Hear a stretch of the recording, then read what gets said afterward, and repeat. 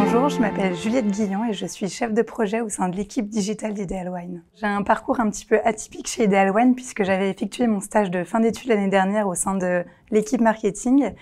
Euh, quand j'ai su qu'une place se libérait euh, il y a peu de temps chez Ideal Wine, j'ai sauté directement sur l'occasion pour proposer ma candidature. Et euh, je suis maintenant de retour chez Ideal Wine depuis mars 2024. Ça va faire cinq mois que je suis là.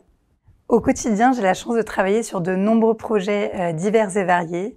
J'ai notamment la charge d'une partie du marketing opérationnel avec la création d'emails, de notifications, d'un parcours d'automatisation d'emails aussi pour euh, euh, nos clients. J'exprime également ma créativité au travers de différents supports de communication que nous mettons en place sur différents canaux, notre site internet, euh, nos moyens de communication, les, également les réseaux sociaux. Je suis responsable de la personnalisation du site internet euh, via l'outil ABTesty et euh, une grande partie de mon temps est occupée par euh, l'analyse et les reporting marketing euh, qui permettent de piloter nos actions marketing.